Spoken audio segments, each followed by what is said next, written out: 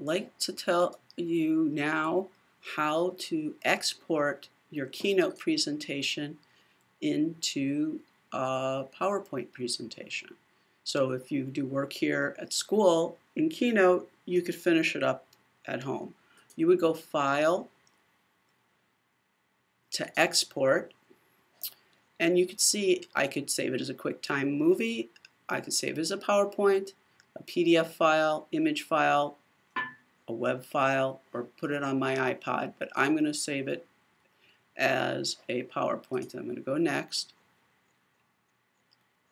I'm now going to direct that save to make sure I put it in the right folder or in your case on a jump drive and it's all titled properly and I'm going to say export. Now I already have a version of this application, I should say, sorry, this file, but it's not updated. So this will be my update file and it's going to be now in PowerPoint.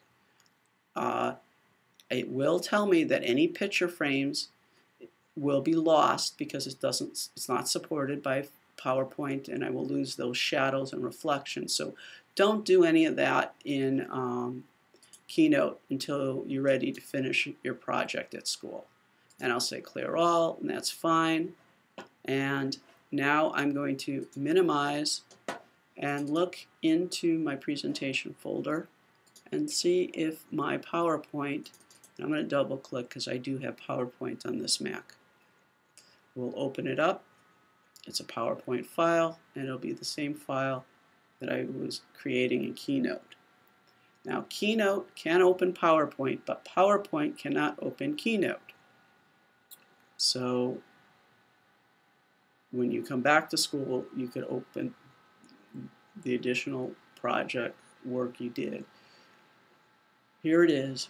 It has the border kind of lost some of the shadow. Let's see on the second slide.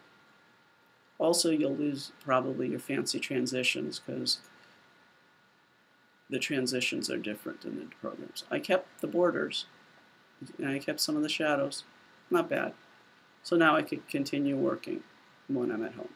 So that's how to export a Keynote file to PowerPoint.